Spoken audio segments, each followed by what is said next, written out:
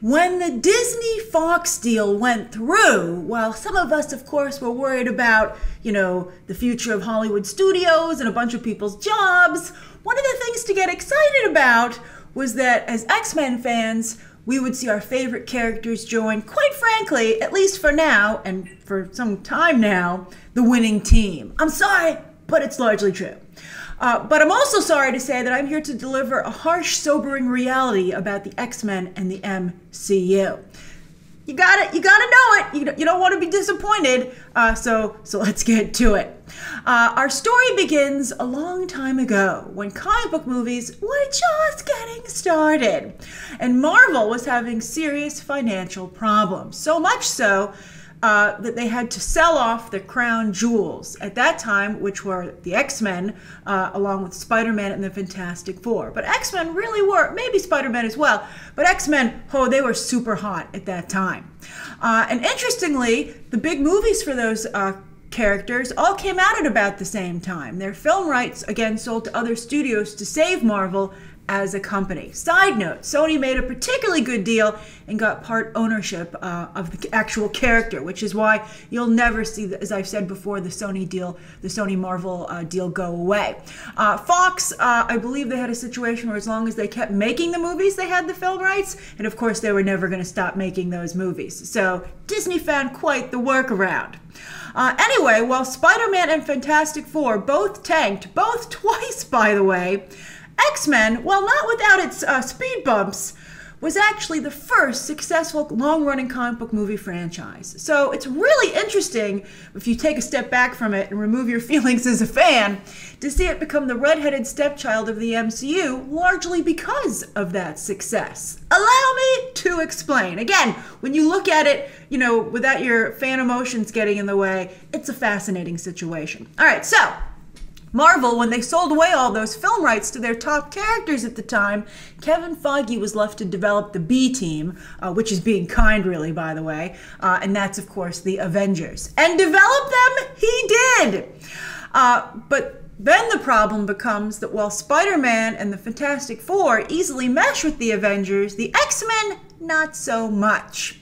I mean, in a world with the Avengers, why would people then fear mutants? It seems like splitting hairs, doesn't it? And speaking of mutants, uh, of course, in the comics, Wanda, Wanda Maximoff. Uh, well, uh, I think she's just actually called Wanda. Um, uh, in in the MCU. But of course, in the comics, she's a mutant. Uh, but if she's uh, been redone as being Infinity powers, uh, Infinity Stone powered in the MCU. The Infinity Stones actually accounting as I made a video predicting this actually before it happened. Quite proud of that but the Infinity Stones are responsible for the superpowers of a number of um, MCU characters. And many fans, including myself, felt that the usage, the rampant usage, the irresponsible usage, and the epic usage of the Infinity Stones in Infinity War and then again in Endgame could maybe explain the rise of mutants, right? But Feige, as you're about to see, already has plans solidly in place. And that's just too much of a last minute course correct. Not only is it a big course correct, but it's such a large, it involves so many characters. Although, a lone mutant could pop up here and there in the upcoming uh, Marvel movies. Storm in Wakanda, Wolverine, anywhere. Uh, with the Infinity Stone usage, again in Infinity War and Endgame, the reasoning. Uh, but speaking of reasoning, still, the X Men's raison d'etre, that they're a sci fi metaphor for discrimination, just does not work in, the, in a world that's cool with the superpowered Avengers. Uh, it's for that reason that even the 2012 Avengers vs. X Men crossover, which was clearly trying to create a, a storyline where they, the Avengers and the X Men could share the same space, well, all it did actually was prove that they cannot.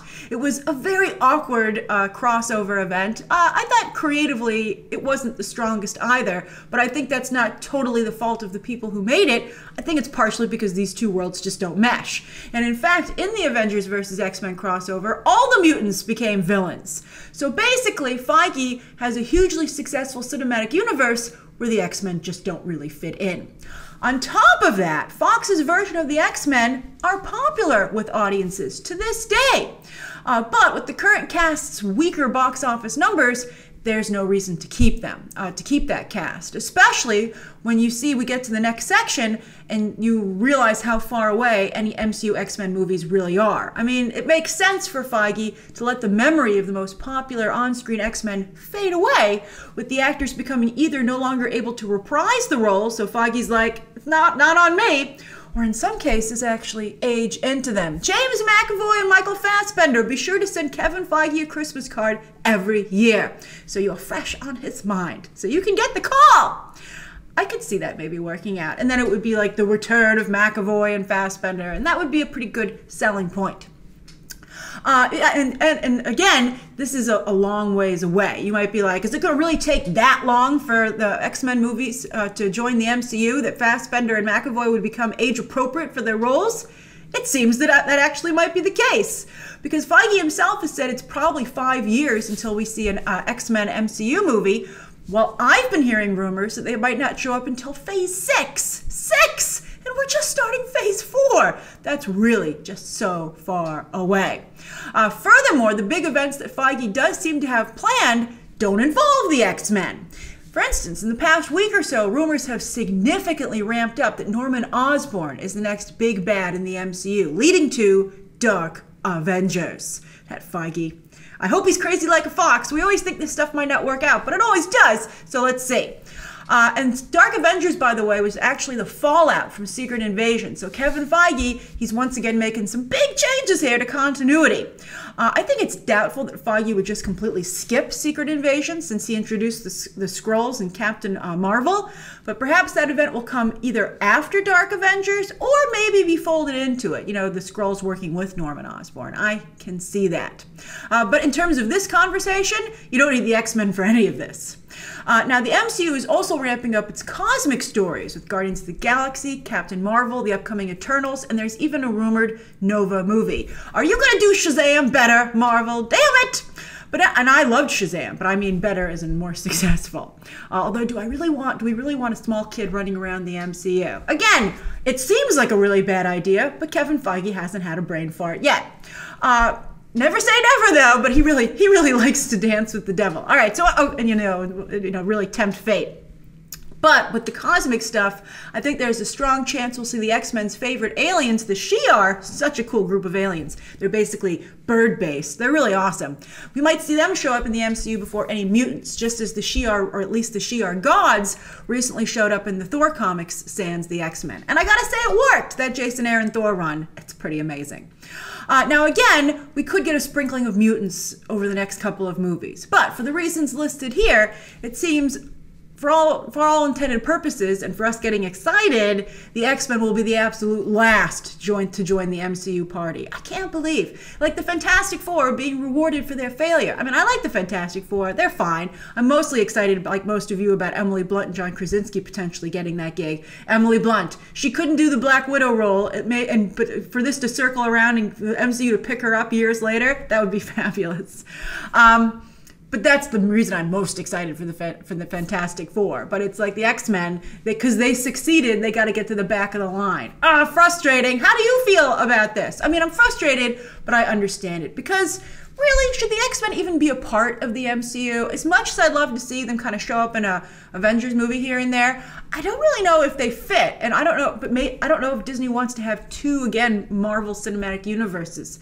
Um, it's really compl- complicated and but you know we'll see if feige can figure this out as well.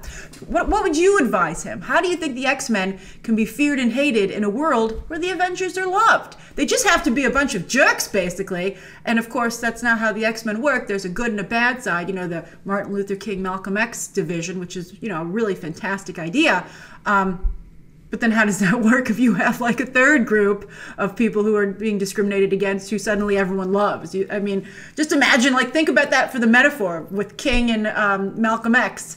How it just belittles it and is weird. All right, so anyway, write your thoughts down below. And of course, as always, you can check out some more videos right now.